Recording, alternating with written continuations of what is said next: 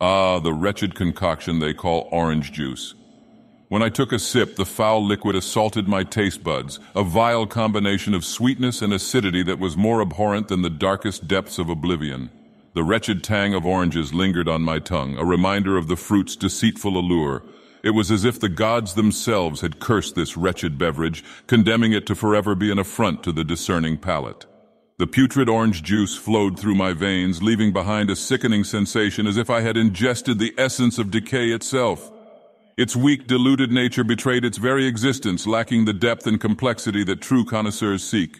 How anyone could find pleasure in such a repulsive libation is beyond my comprehension. It is a mockery of true refreshment, an insult to the refined taste that I, Dagoth Ur, possess. I wouldn't even let a dying animal consume this covert agent named urine disguising itself as orange juice if it was more dehydrated than a feminist coochie lips. No, I shall not be swayed by the illusions of this abomination. I shall stand firm, resolute in my disdain for the foul orange juice. Let lesser beings indulge in their misguided appreciation for this travesty of a beverage. As for me, I shall seek solace in the richness of more sophisticated elixirs, leaving the wretched orange juice to wither and fade into obscurity where it rightfully belongs. As a matter of fact, you pathetic fucking bottle of orange bile. Yeah, get fucked orange juice. Now everyone will be able to recognize that you're actually a bottle of... Oh, hey, Nerevar. Nerevar, no. Nerevar. That's not orange juice, it's a fucking bottle of piss. I pissed in it, Nerevar. Did... did you just take another gulp after hearing that? I...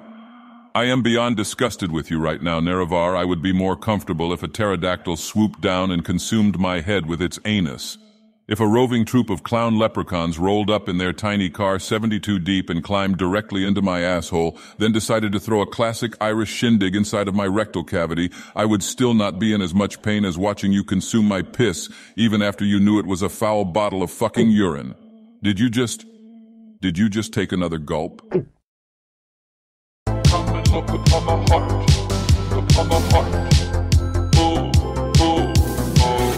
a god. How can you kill a god? What a grand and intoxicating innocence.